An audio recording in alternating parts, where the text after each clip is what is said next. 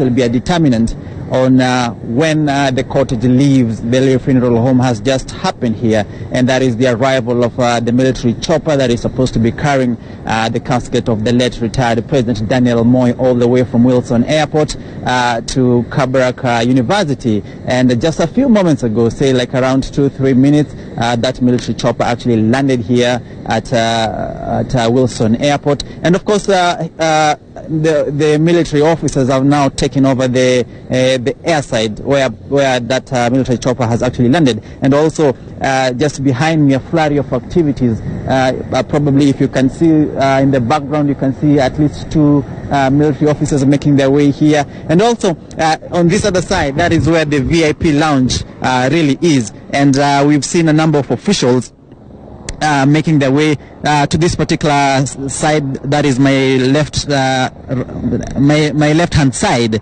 and uh, just uh, maybe those officials who are going uh, to attend this particular state funeral at Kabarak, at Kabarak just to see of the late retired president Daniel Moi. A number of them have made their way. We've seen several choppers landing and taking off and uh, so we're just monitoring the situation uh, to see really when this uh, will be transpiring because the body is supposed to land at Kabarak at around 7.30. Right now it's about uh, 6.50 and uh, probably the reason for this delay was the arrival uh, for the military chopper that is supposed to airlift the casket of the late retired President Moi all the way to Kabarak. A number of government officials, we've seen the senator, better yet, uh, the Speaker of the National Assembly, Justin Muturi. Uh, we've seen his car make it make its way uh, to the airside, and uh, of course uh, we are being uh,